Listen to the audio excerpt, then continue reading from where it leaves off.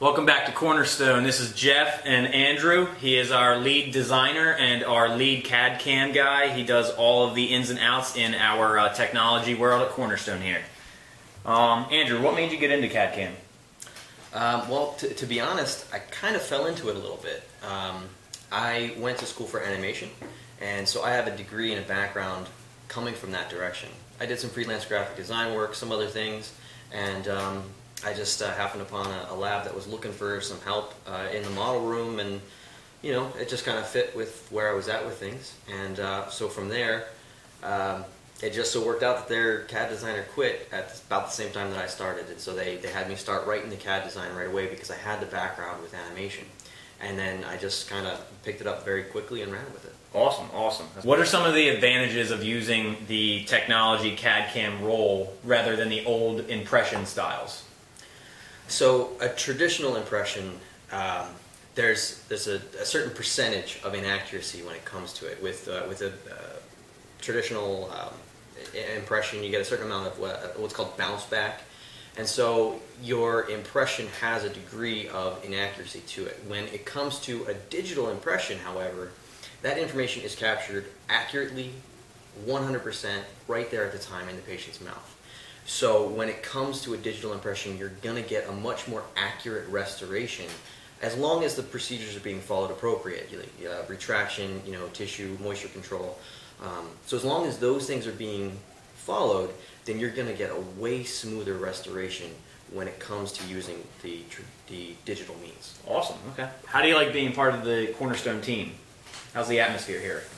Well, it's been it's been a lot of fun. You know, I um, I've worked for another dental lab, and uh, you know, it was way more focused on uh, the production. Not that we're not here, but there's a lot more of the human interaction in between uh, everybody. You know, everybody knows what's going on in each other's lives, and we're very supportive. You know, everybody knows that this is something that we're here for uh, 40 hours a, a, week. You know, in, in some cases or longer. You know, depending upon what people's schedules are. But uh, we all seem to work together as a team to make sure that the, the clients, the customers, they get the restorations on time, and they and we do it right. Great.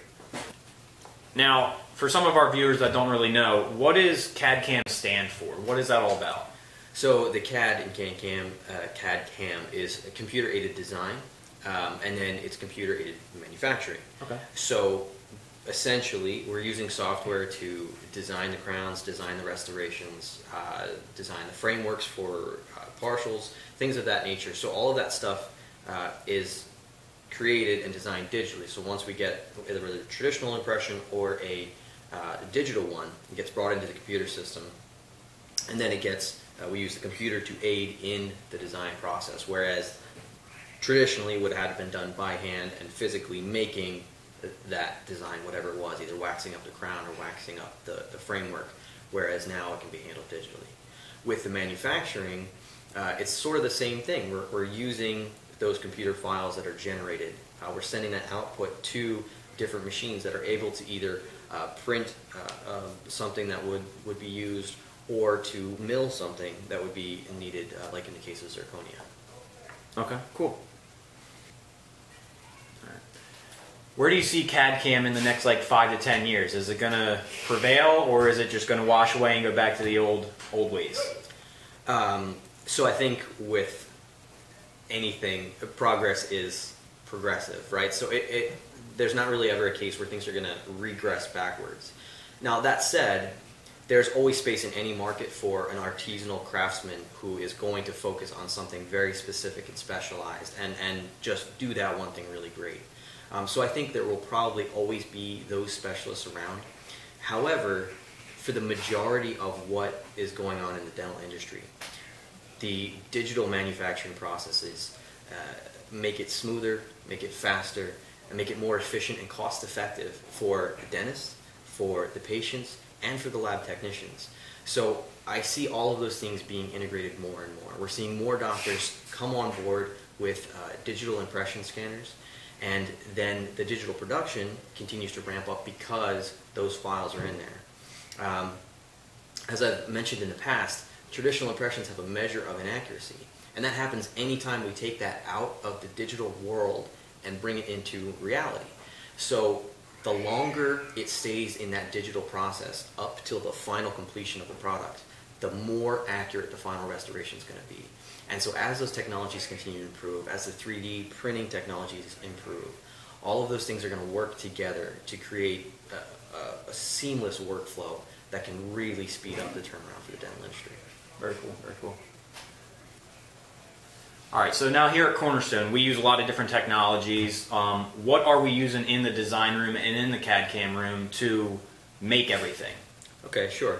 So, so here at Cornerstone, we're uh, largely a, a 3Shape um, lab, which uh, most people in the industry are familiar with. Uh, 3Shape. It's it's a very well implemented, well developed uh, software that allows for the scanning, the 3D scanning of the the models, allows for the designing, whether or not that's uh, just a simple uh, single unit restoration or whether it's more complex implant restoration. So 3Shape can handle the design work that we do for that.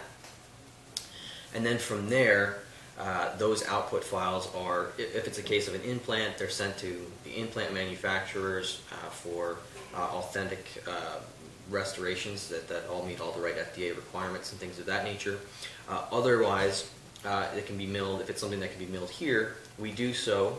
we're, we're using VHF mills for some things, but we're also using, recently we, we acquired some Roland I believe it's uh, the DWX52 is I believe what their their short name is, um, and those have been really great for implementing you know uh, more uh, milling turnaround for our zirconia crowns. Um, we're additionally we're using 3D uh, printers of different various sorts. We have some from 3D Systems, the, the MJP 3600. I think if I have the name right on that.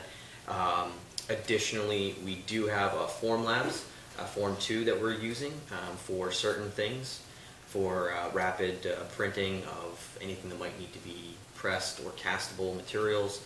So those things, we're, we're using all of them in conjunction uh, for, the, for the restorations, lots of different technology. Uh, there's also uh, the ovens that we use for sintering the zirconia crowns, which go in the, the Sintra sintering furnaces that we have. Okay, great, great. All right, that's all we have for today. I want to thank Andrew for coming in. He showed us you the uh, inside track of the CAD CAM world. Uh, stay tuned for next week, and we'll show you what Cornerstone is all about.